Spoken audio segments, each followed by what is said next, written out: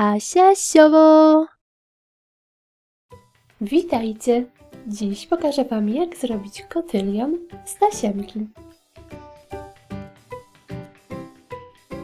Szczegółową listę wszystkich potrzebnych przedmiotów znajdziecie w opisie tego filmu. Z białej i czerwonej tasiemki ucinam po trzy paski długości 7 cm.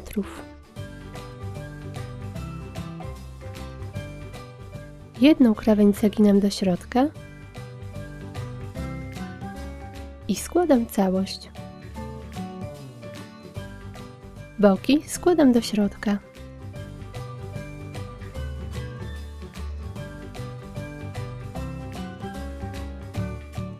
Opalam dół i łączę materiał.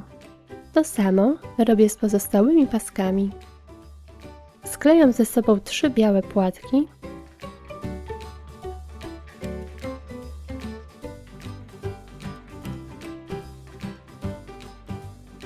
a następnie doklejam trzy czerwone.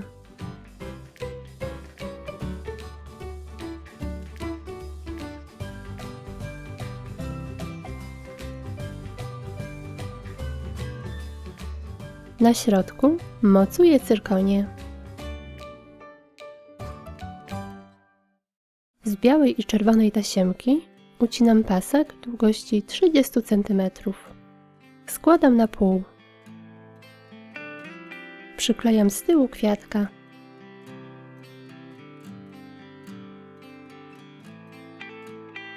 Na koniec przyszywam agrafkę.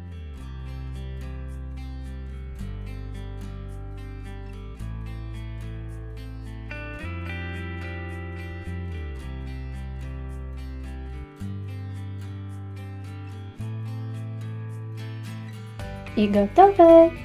Taki kotylion będzie piękną ozdobą na wszelkie uroczystości patriotyczne. W taki sam sposób możecie zrobić dekorację na włosy, zastępując agrafkę bazą do spinki. Zapraszam Was serdecznie na mojego Facebooka oraz Instagrama. Pozdrawiam! Pa, pa!